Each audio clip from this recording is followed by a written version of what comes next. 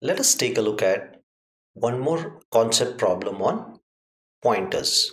Just to remind you, before this, there is a theory session discussing this particular program in detail.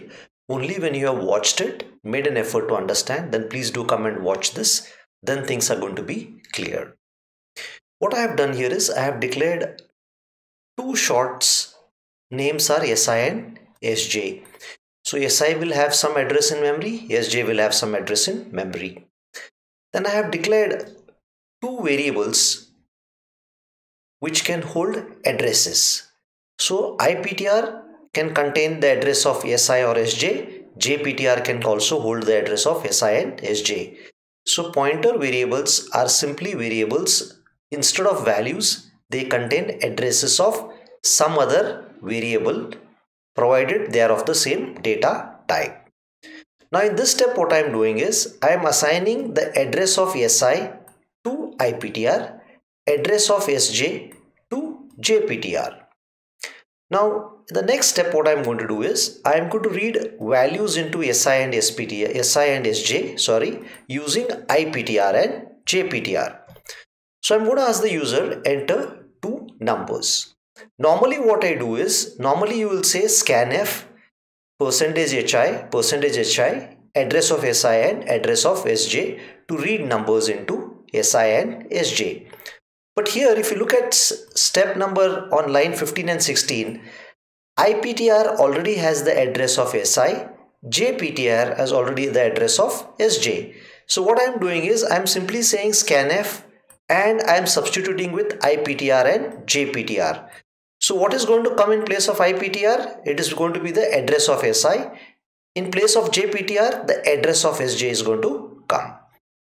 Now the next step what I am going to do here is once I enter certain values, let's say I enter the values 100 into SI and say 200 into SJ through IPTR and JPTR. Then SI and SJ, I'm going to print the address. Address of SI and SJ is going to be printed through this mechanism. Address of SI and address of SJ. Then to show you that IPTR and JPTR contain the address of SI and SJ respectively, I am if going to print IPTR, it is going to print the address of SI and if I print JPTR, it is going to print the address of sj. So both these printf will lead to the same value being printed on the screen. Now in the last step we are going to print the values of SI and SJ using two different methods. But before we head there, let's try to run this program till the stage where we end up seeing the addresses of SI and SJ. So as I told you, I'm going to enter the number 100 and I'm going to enter the number 200. So here if you see on entering number 100 and 200, SI, okay, is at address 8972, SJ is at address 8974. There's a difference of 2 bytes between them because short is given 2 bytes on the particular machine I'm running. Then if you see address of SI as it is being printed it is the same here because I have printed IPTR IPTR contains the address of SI so this is one more way of printing the address of SI I. Am printing the address of JPTR which contains sorry I'm not printing the address of JPTR I'm printing the content of JPTR which contains the address of SJ so the address of SJ here when I'm directly printing and when I'm printing it indirectly is the same. So you can see the address in both the places happens to be the same. Now what I am going to do here is in the next steps I am going to try to print the content of SI and SJ in two different ways. So if you see here I entered SI as 100, SJ as 200. So I am printing it in the first stage in the normal way which we print and here if you see it is printing SI as 100 and SJ as 200 because those were the values I entered. Now here what I am doing in the last step is I am printing IPTR and JPTR with a star attached to them.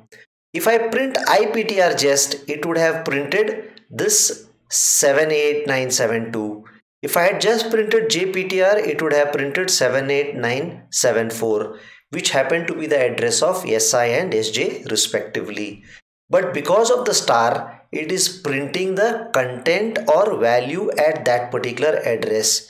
Now, what is the content at 78972? It is 100. What is the content at 78974? It is 200. So, if you see here, what what am i doing here is using this star variable. Using the star i am printing the content of iptr and i am printing the content pointed to by jptr so iptr is referring to the value 100 jptr is pointing or referring to the value 200 so this way i am printing 100 and 200 on the screen using an indirect approach or the pointer approach where star IPTR gives me the value of SI and star JPTR gives me the value of SJ.